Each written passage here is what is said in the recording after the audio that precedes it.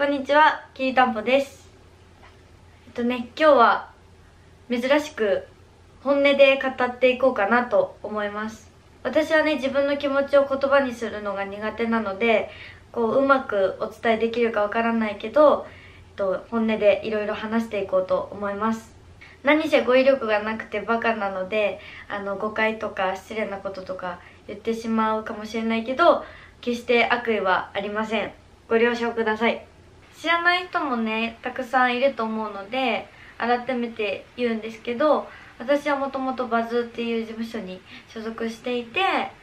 そこを辞めまして、えーしばらくしてからウームに所属して今2年半が経ったんですけど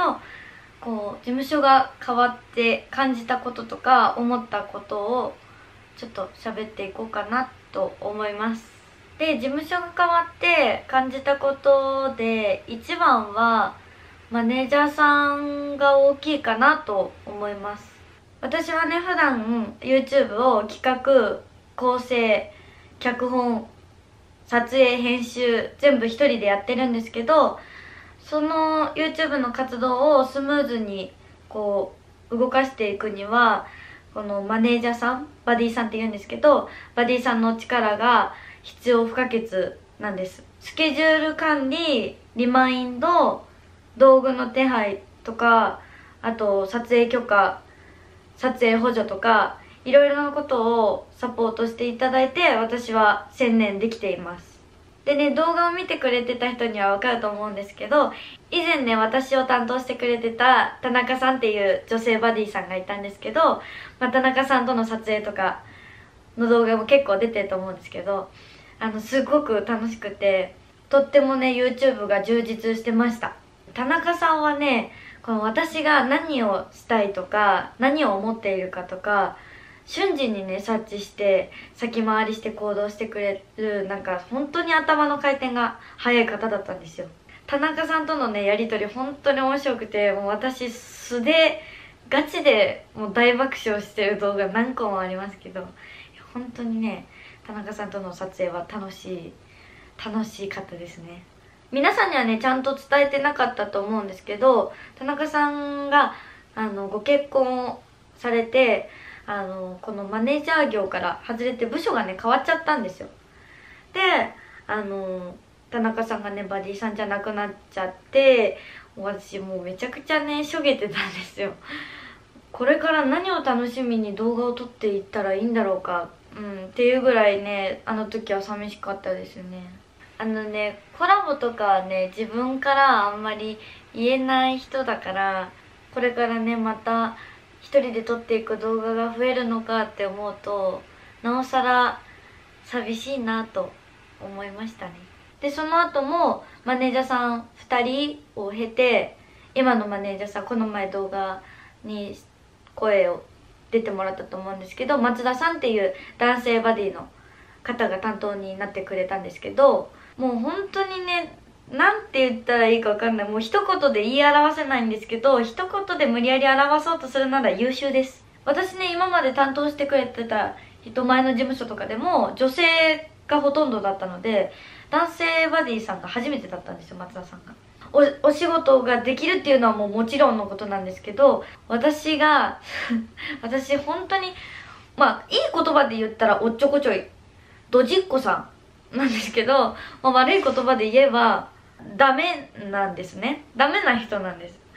で私のねダメなところとか欠けているところをこうカバーしてくれて私の立場になって物事とか進行を考えてくれる思いやりのある人なんですよ。でそんな私をね懸命にカバーやフォローをねしてくれているんですけど。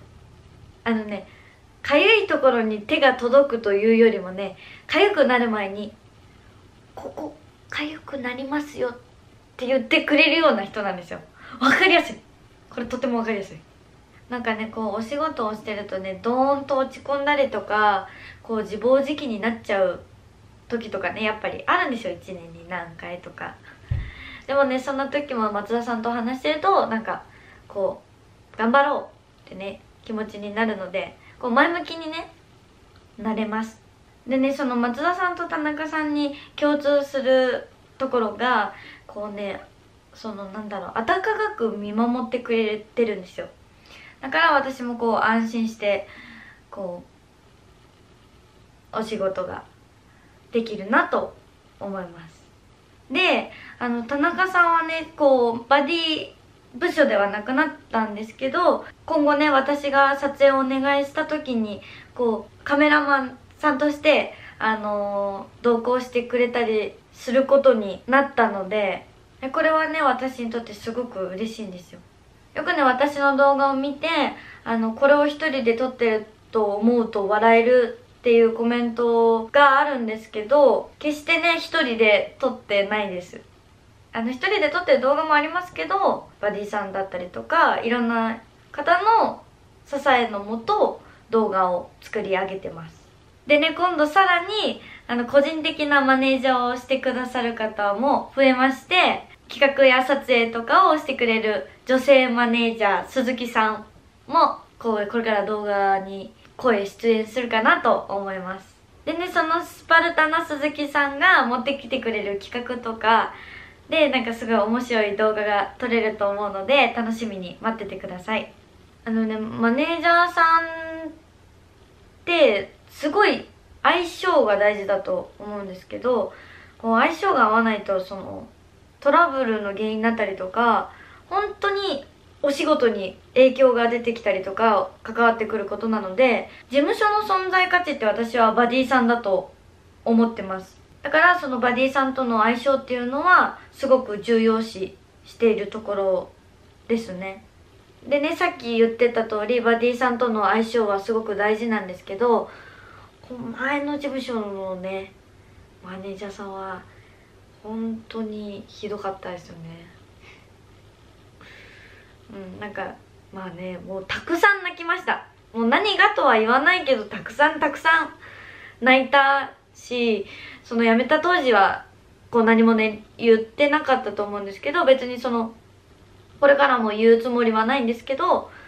そうそういうことはあんまり言いたく